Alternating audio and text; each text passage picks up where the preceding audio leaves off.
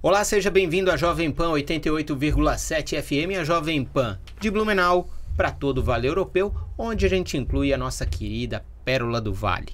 Para você que acompanha pelo rádio, você já sabe que é a cidade de Timbó, mas para você que está na internet, vale a pena procurar na internet sobre a cidade de Timbó, os potenciais turísticos, a força econômica, o capricho que é a Pérola do Vale que é a cidade de Timbó. As grandes indústrias, as indústrias que surgiram, que desenvolvem aquela cidade, tanto na área tradicional de manufatura, mas principalmente agora se destacando pela área da inovação. E outro talento que a cidade de Timbó tem é a qualidade.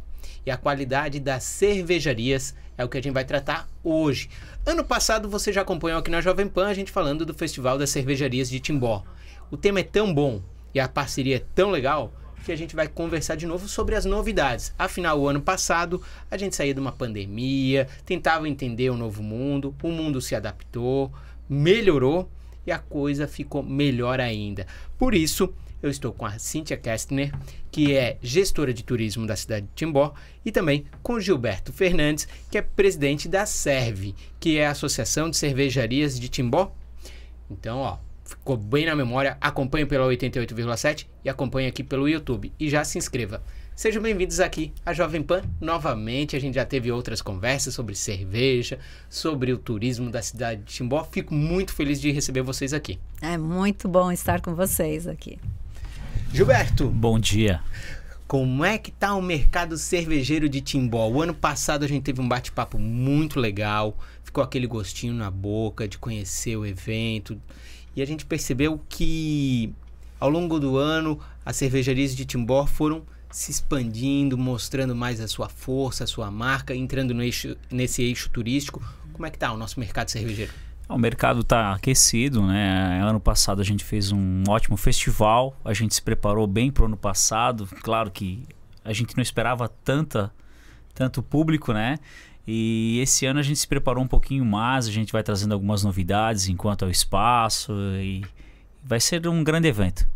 E Cíntia, quando a gente fala de cerveja, a gente sabe que a região aqui do Vale Europeu é uma região que ao longo dos anos foi crescendo essa cultura cervejeira dos apaixonados, dos empreendedores, dos que acreditam como investimento, mas também a gente foi vendo que vários brasileiros e até pessoas de outros países vêm conhecer a nossa região.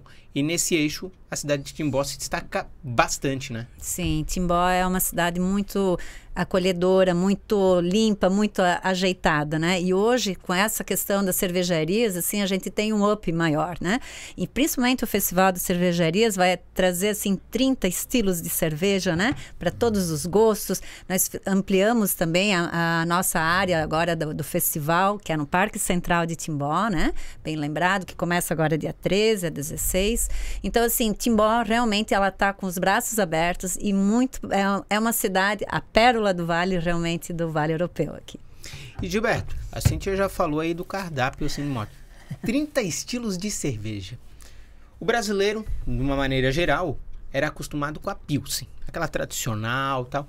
Com as cervejarias artesanais, foi conhecendo outros estilos.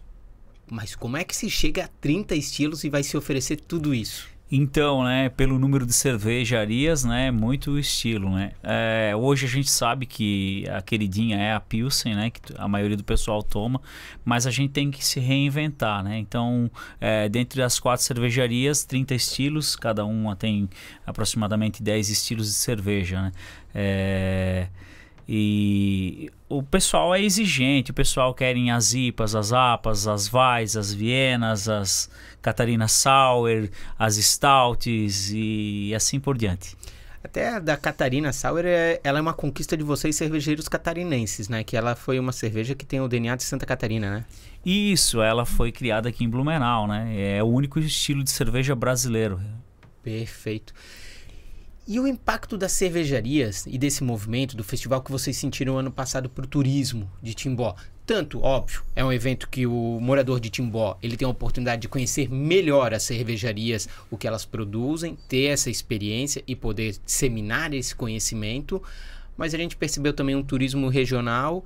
E como é que vocês percebem o potencial É, a gente, uma das atrações principais, além da cerveja, é as bandas, né? Nós temos assim uma escolha assim muito é, bacana para poder trazer o público geral, né? Desde a apresentação cultural com a banda dos cinquentões, a banda municipal, mas também esse ano vamos trazer a, acústicos e valvulados, né? Isso também é uma banda que todo mundo já conhece, além das nossas bacanas aqui da região, que tem o Vintage Coat, a Mac banda McFly, Bilbert, é, Código Bar. Então, assim, a música, ela também é a sintonia junto com as cervejas, né? E a gente até comentou que além da estrutura que a gente ampliou, vai deixar algo mais organizado com a gastronomia também, separado um pouco das bandas a gente vai ter também a questão da, do diferencial dos estilos da cerveja, né?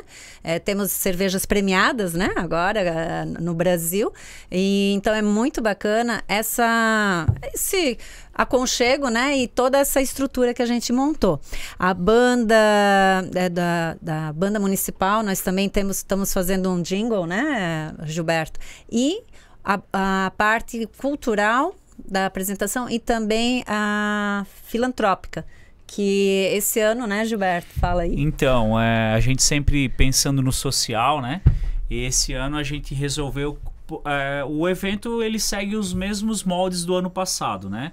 Então, tipo assim, ele não tem cobrança de ingresso, é livre, pode chegar lá, a, a, só vai ter que adquirir o cartão, fazer a recarga do cartão, como do ano passado, né? Que ano passado foi o primeiro ano e deu certo. É, houve algumas filas, mas a gente aumentou os caixas, a gente vai colocar uns papa-filas para poder agilizar um pouquinho mais o processo. E a única é a aquisição do copo, né? Então o pessoal vai ter que adquirir o copo no custo de cinco reais. E a cada um real desse copo, a gente vai destinar ao Hospital Oase. Então a gente pensou uhum. também um pouco no social, né? Então o pessoal que vai estar tá curtindo o festival vai estar tá contribuindo com o hospital também, que é da nossa cidade. Isso. Legal esse trabalho e o pensamento de vocês, ter sinergia de todas as áreas. Fomenta o turismo, fomenta a indústria cervejeira, por mais que seja de pequeno, médio porte, mas também envolve essa parte social e da área da saúde, que é uma área que Gente, o brasileiro, isso que a gente vive numa bolha, uhum. ele é carente. E a gente sabe o trabalho que o Hospital Oasis faz, não só para a cidade de Timbó, mas para ah, toda a região que está no entorno ali e muitas vezes também para quem circula por Santa Catarina em função da 470, que acaba sendo um ponto de referência para atendimento de qualquer vítima ou pessoa que passe mal estar ali. E Gilberto, o ano passado foi um sucesso o evento, porque as adaptações que aconteceram foi em função do volume e do sucesso do evento. Como é que as quatro cervejarias que estão esse ano colocando seus tipos de cervejas, estilos, elas enxergam esse potencial e esse esforço que você, como líder aí da associação, faz de mostrar que Timbó tem cervejas de qualidade, tem força e tem uma cidade para receber bem o seu próprio morador, mas os turistas. Então, elas, a gente se prepara muito bem, né? É, a gente sabe que esse evento ele já está consolidado na cidade e, e, região. Eu acredito que é, as pessoas já elas esperam esse festival. E eu falo, é, nós, né, as cervejarias, a gente está se preparando muito bem para entregar o máximo pro, pro, pro, pro público, né? A gente aumentou um pouco o espaço, a gente, o formato nosso é um, é um stand para cada cervejaria, mas a gente é, separou um pouco a, a gastronomia para não dar aquele aquela muvuca toda e o pessoal fica meio que misturado. Tá tudo dentro do mesmo espaço, mas meio que dividido para o pessoal que quer se a, a, fazer alimentação, fica mais restrito, o pessoal que quer curtir um pouquinho mais. E a gente criou um novo ponto é, perto da alimentação, onde a pessoa pode adquirir as cervejas também. Vai ser uma, um stand com as cervejarias todas lá, então vai ter um ponto a mais de bebida para melhor atender. A gente tá, como a gente fala, a gente está se preparando né? Se algo der errado, a gente vai se preparar melhor. É, a gente vai acertar com os erros dessa vez, mas a gente se preparou muito bem. É, a gente, todas as cervejarias ansiosas para que chegue esse dia e a gente faça esse trabalho. E eu dou o feedback. O ano passado realmente teve movimento, teve pontual, mas dava para sentir que todo mundo estava lá para curtir. Então, mesmo que eventualmente tinha fila, era pelo sucesso do evento. E prova tá aí que aí se pensou na evolução. Uma melhor logística, distribuição, para quê? Para sempre estar tá oferecendo o melhor. E óbvio, se ele for mais sucesso ainda, vai ter o pontual, mas as pessoas vão com essa compreensão e tem que ir com essa ideia de curtir. E aí eu pergunto, como é que foi pensada a questão de gastronomia e os estilos das cervejas? Na parte da gastronomia, a gente fez então uma licitação e mas já fez um cardápio que combine, né? Tem que ter a harmonização, né? A cerveja e a comida, desde uma salsicha, desde um, um, um, um hambúrguer, uh, ou a, vai ter também, né, Gilberto, a parte da pizza. Então, assim, tudo que contempla a, a degustação da cerveja com a comida, né? É uma vibe de realmente de festival, como vocês falaram, Isso. atração musical, diversão, confraternização, experiências, harmonia. É muito legal. Ia pedir um favor para vocês. Quais são as quatro cervejarias?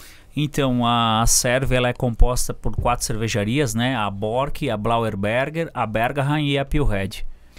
E a gente tem essas quatro, são marcas conhecidas. Quando a gente ouve falar delas, a gente lembra de histórias, experiências e qualidade.